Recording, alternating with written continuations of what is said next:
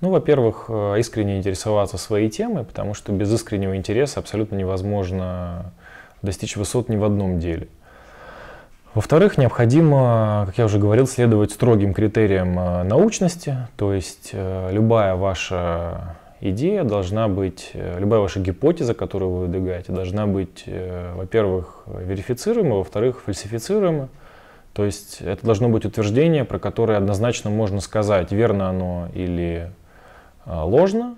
А, помимо этого, эта статья, конечно, должна быть хорошо написана, а, хорошим языком, который понятен широкой аудитории, доходчив, не содержит лишних переусложнений, не содержит э, пятистрочных предложений.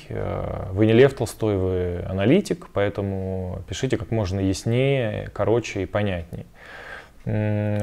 Хороший аналитик уделяет очень много внимания построению сети э, связей с другими аналитиками, с представителями госорганов, с лицами, принимающими решения, со своими какими-то друзьями из других сфер, потому что никогда не знаешь, из какой сферы тебе пригодится человек. Хороший аналитик очень внимательно относится к работе с социальными сетями, он активно использует их, он продвигает свой бренд через социальные сети, он становится заметным, узнаваемым, он вовлекает аудиторию в общение, он не боится критики, он открыто публикует все свои наработки и внимательно прислушивается к тому, что ему говорят люди.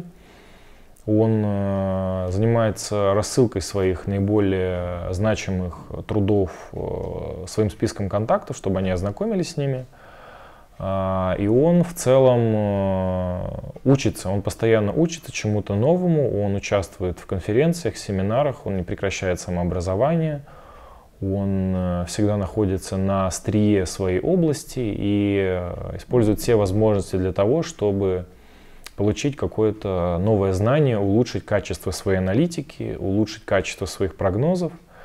Вот, собственно, так.